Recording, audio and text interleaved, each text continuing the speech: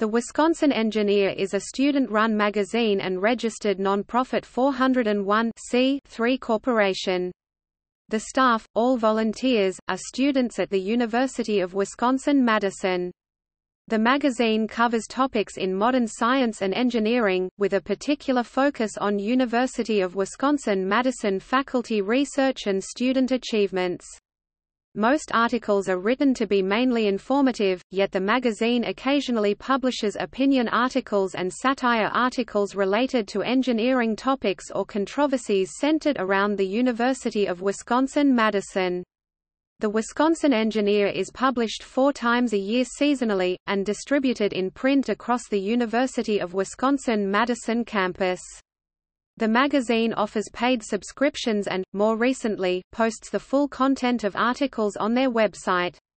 The magazine has remained relatively local in its coverage, allowing it to foster relationships with professional organizations such as the Wisconsin Society of Professional Engineers. While the magazine is operated by students, a faculty advisor from the College of Engineering typically gives recommendations to the leadership. Stephen Zwickel, a professor in the University of Wisconsin-Madison's Engineering Professional Development Department, is the current advisor to the magazine. He has been with the magazine for over 15 years and is considered the collective memory of the magazine. As of 2017, the Wisconsin Engineer is a member of the Wisconsin Undergraduate Journal Association.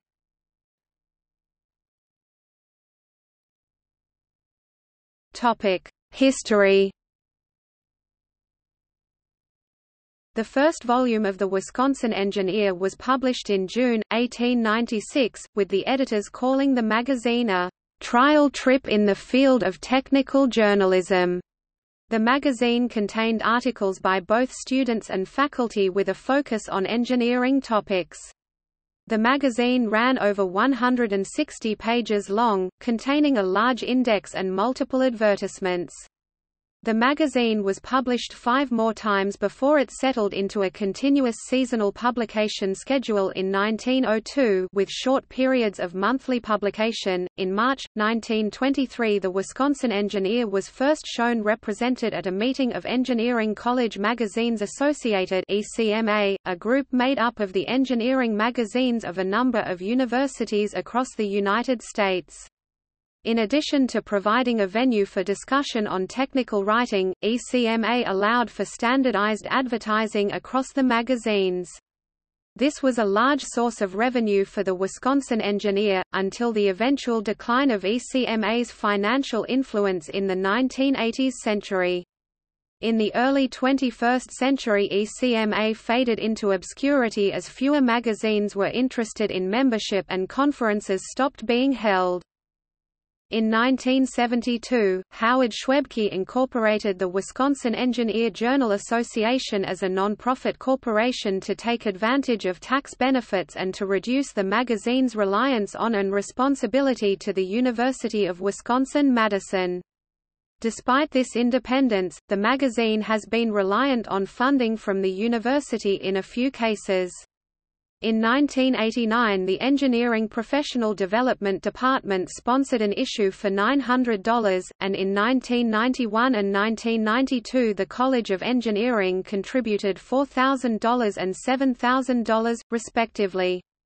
In 1995, facing $12,000 of debt, the magazine was offered relief from the university with the condition that print publications cease.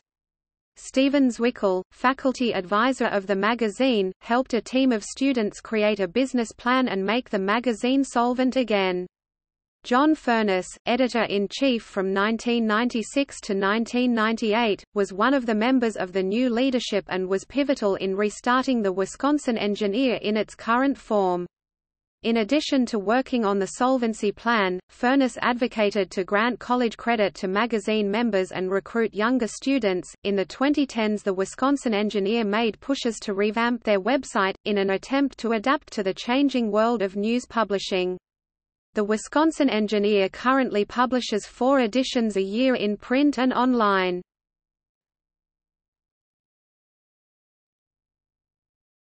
Topic: Organizational structure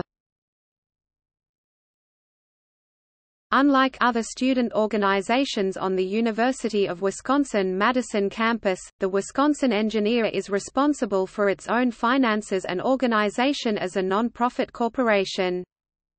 The editor-in-chief, of which there are often two, serves as the highest position within the organization. The editor-in-chief is responsible for the publication, distribution, and financial solvency of the magazine. They also oversee the departments and conduct meetings.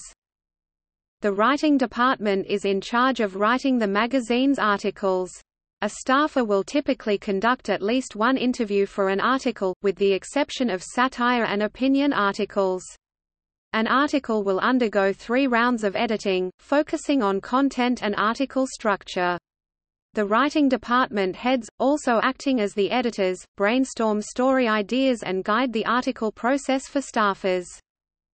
The business department manages the finances of the magazine and secures funding.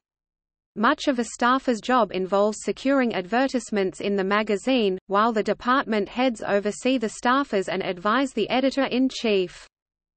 The photography department is in charge of taking photos and videos for the magazine. Photographers typically work with their partners in writing, often attending interviews. The graphic design department handles page layout for the printed edition of the magazine. In addition to these main roles, there is a managing editor and a copy editor. The managing editor, typically a former editor-in-chief, offers advice to leadership, while the copy editor, separate from the writing department, makes final fixes before an article is sent to publish.